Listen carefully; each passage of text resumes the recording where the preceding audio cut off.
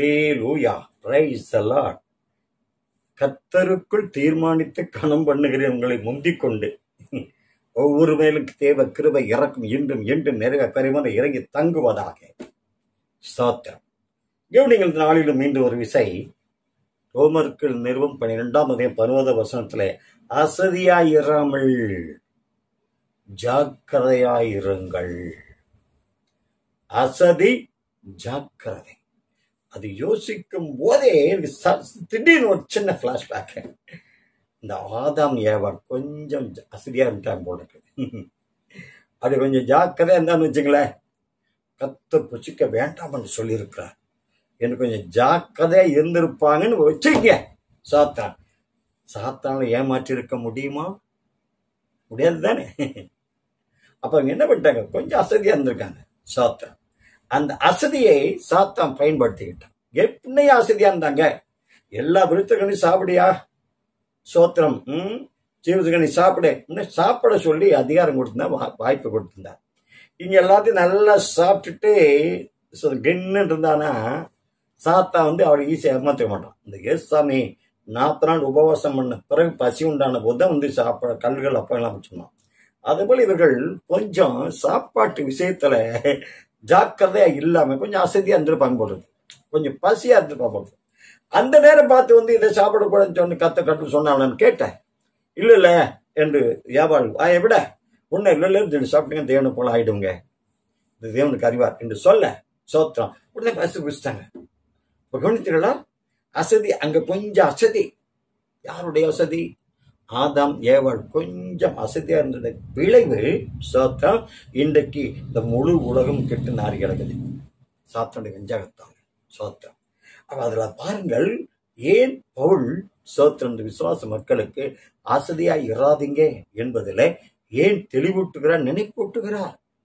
அப்போ அசதியா இருக்கும் பொழுது எவ்வளவு நன்மைகள் தடைபடுகிறது தீமைகள் மேலோங்குகிறது சோத்திரம் இப்போ வேத புத்தகத்தில் கவனிங்கள. காயின் ஆபில் காணிக்க கொண்டு வந்தாங்க சோத்திரம். காயின் கொஞ்சம் அசதியாக இருந்துட்டான். அந்த விளைவு என்ன? பொல்லாங்க நாள் உண்டா இருந்து சகோதரனை கொலை செய்து விட்டாங்க அப்போ ஆபில் கொஞ்சம் ஜாக்கிரதையாக இருந்தால் சரியா முறையாக காணிக்க செலுத்திட்டான் அதே போல் நீங்கள் முழுக்க வேதத்தை முழுக்க கவனிப்பீர்களானால் இப்போ தாவிது சாவில் எடுத்துக்கொள்ளுங்க.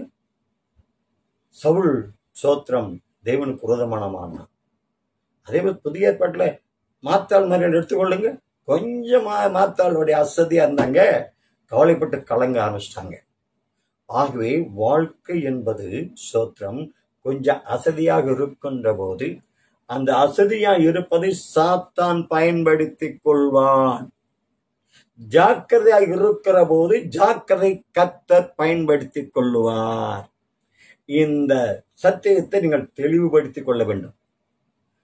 ஜாக் அஜாக்கிரதையா இருப்பது அதாவது சோத்திரம் அசதியா இருக்கிற போது அசதி யார் பயன்படுத்திக் கொள்வான்? சாத்தான் பயன்படுத்திக் கொள்வான்.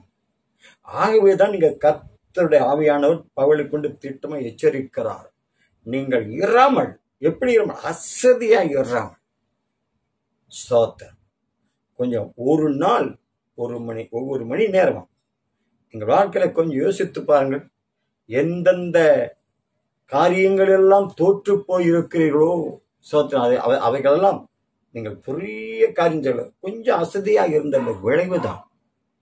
எத்தனையோ தீமைகளை பெற்றுக்கொண்டிருக்கிறீர்கள். எதற்கு இதனால அசைய அசதியா இருந்தது நிமித்தமாக. ஆகவே பிரியமான தேவ ஜனமே சோத்திரம் அசதியா இராமல் என்று சொல்லி தேவ வார்த்தை எச்சரிப்பதை இது ஒரு எச்சரிப்பு.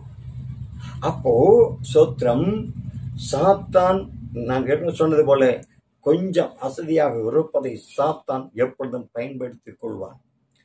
ஜிபிக்காமல் அசதியாக இருப்பது வேதம் வாசிக்காமல் அசதியாக இருப்பது சோத்திரம் கத்தரை கனம் பண்ண இருப்பது இப்ப மேலே கேட்ட சகோதர சிநேகத்தில் பச்சமா இல்லாமல் இருப்பது இப்படி இவைகள் எல்லாம் ஜாக்கிரதை இல்லாமல் அசதியாக இருக்கிற போது சாத்தான் எவ்வளவு அதை பயன்படுத்திக் கொள்ள முடியுமோ? அதை பயன்படுத்திக் கொண்டு நமக்குள்ள விரோதத்தையும் கசப்பையும் வெறிச்சலையும் உண்டாக்கி விடுகிறான் வேத வசனத்தை க- க- கற்றுக்கொள்வதும் கைக்கொள்வதும் ஜாக்கிரதையாக இராமல் அசதியா இருந்துவிட்டால் சோத்தம் நாம் சாத்தானால் பயன்படுத்துகிற பாத்திரங்களாக மாறிவிடுவோம். எந்த அளவுக்கு சரியா முறையாய் ஜாக்கிரதையாக இருக்கிறோமோ அந்த அளவாக தேவனால் அங்கீகரிக்கப்படுகிற பாத்திரமாக இருப்போம். இப்போ தாவீது எப்பொழுது ஜாக்கிரதையாக இருக்கிறவன்? ஆகவேதான் அவனை குறித்து ஆண்டவன் சொன்னார். என் இருதயத்துக்கு ஏற்றவன் என்று சொன்னார். அப்போ தேவனுடைய இருதயத்துக்கு ஏற்றவளாக நம்ம இருக்க வேண்டும் என்று சொன்னால் நம்முடைய காரியங்களிலே நாம் எப்பொழுதும் ஜாக்கிரதையாக இருக்க பழக வேண்டும். அஜாக்கிரதையாக இருந்த சவுளுடைய நிலைமை என்ன ஆச்சு பார்த்தீங்களா? சாத்திரம். தேவனால் வெறுக்கப்பட்டான் தள்ளப்பட்டான். ஆகவே அசதி என்பது சாத்தனுடைய தீய ஆயுதம். நமக்குள்ளே ஒரு பெரிய தீங்கை சோத்திரம் கத்துடைய பொறுப்பை சம்பாதித்துக் கொள்ள அந்த சற்று தீய தந்திரமாய் நமக்குள்ள கத்துடைய கருத்தை அசதியா ஜெபம் பண்ணலாங்க. பண்ணலாம். பைபிள் படிக்கலாம் படிக்கலாம். ஏங்க சர்ச்சுக்கு போகலையா? போகலாம் தான் இருக்கிறேன். சோத்திரம். பாத்தீங்களா? பைபிள் படிப்பதில் ஜெபம் பண்ணுவதில் ஆலயத்துக்கு வருவதில் எங்க காணி கொடுத்தீங்களா கொடுக்கலாம் தான் இருக்கிறேன். சோத்திரம். நிறைய பேர் இப்படி அசதியாக வாழ்கிறார்கள். இது இந்த- இந்த இந்த வார்த்தையை காணிக்கிட்டு தான் இருக்கிறேன் சபைக்கு போகலாம் தான் இருக்கிறேன் ஜெபிக்கலாம் தான் இருக்கிறேன். சோத்திரம்.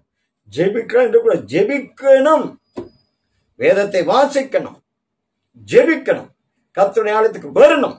கத்துக்கு உச்சமாய் காணிக்கை கொடுக்கணும். இவைகளாம் ஒரு ஊக்கத்தை உற்சாகத்தை ஜாக்கிரதை நாம் காண்பித்து தீர வேண்டும். ஆகவே பெரிய பெரிய நன்மை இழந்து தீமையில அகப்பட்டு கொண்டவர்கள் சோத்திரம் பெரிய பாவசர்கள கொஞ்சம் அசதியா இருந்தவர்கள் ஜாக்கிரதையா இருக்க தவறினவர்கள் அசதியா இருந்தவர்கள் அநேக நன்மைகளை ஆசிரியர்கள் இழந்து தவிப்பதை வேதத்தில் கற்றிருந்திருக்கிறோம். ஆகவே பவுல் அழகாய் தெளிவாய் உறுதியாய் எச்சரிப்பாக எழுதி வைத்திருப்பதுன்னு எப்படி இராதீங்க அசதியாக இருக்காதீங்க. சாதாரண ஒரு நல்ல பொறுப்பை பயிர் படிக்க வேண்டும் ஜெபிக்க வேண்டும் வேதம் ஜோதம் ஆலயத்துக்கு போக வேண்டும் ஆலயத்துக்கு கத்தருடைய காணிக்க கொடுக்கணும் என்றெல்லாம் விருப்பங்கள் வருகிற போது அந்த விருப்பத்தை அசதியாக்கிறாதீங்க. பண்ணுக்கலாம் பார்த்துக்கலாம் என்று தள்ளி போடாதீங்க. சரியான முறையான விருப்பங்கள் எழும்புகிற போது அதுக்கு சாக்குப்போக்கு சொல்லாதபடி தடை சொல்லாதபடி நாளை என்று தள்ளி போடாதபடி ஜாக்கிரதையாக இருப்பீர்களாக. ஆகவே கத்தரை வார்த்தை அழகாய் திட்டமாய் தெளிவாய் எச்சரிக்கிறது. எப்படி இருக்கக்கூடாது? அசதியாய் இருக்கக்கூடாது. எப்படி இருக்க வேண்டும்? ஜாக்கிரதையாய் இருக்க வேண்டும். நீங்கள் தேவனுக்குள் பிரியமானவர்களாய் பாக்கியவான்களாய் பரிசுத்தவான்களாய் நீதிமன்றாய் கத்தடிக்கு ஆயத்தவர்களாய் இருக்க வேண்டுமானால் நீங்கள் தயவு செய்து நாளை சரியாய் முறையாய் ஊக்கமாக உறுதியாக தீர்மானம் செய்யுங்கள். நான் தேவ காரியத்தில் ஒரு நாள் ஒருவதும் அசதியாய் இருக்க மாட்டேன். கத்தரை காத்து எப்பொழுதும் ஜாக்கிரதையாயிருப்பேன் என்று இருக்க கற்றுக்கொள்ளுங்கள் கை கொள்ளுங்கள் தீர்மானியுங்கள் கத்த தாமங்களை திரளாக ஆசிர்வதிப்பாராக. ஆமேன் ஆமேன் ஆமேன். என்ன பிரியமானவர்களே தெய்வ ஆலோசனை கேட்டீர்களா? மெய்யாகவே மிகவும் பிரயோஜனமாக இருக்கிறதல்லவா? ஆகவே மற்றவர்களுக்கும் பிரயோஜனமாக இருக்கும்படி இந்த வீடியோவை லைக் பண்ணுங்க ஷேர் பண்ணுங்க. நம்ம சேனலை சப்ஸ்கிரைப் பண்ணுங்க. கர்த்தர் தாமே தங்களை ஆசிர்வதிப்பாராக. ஆமே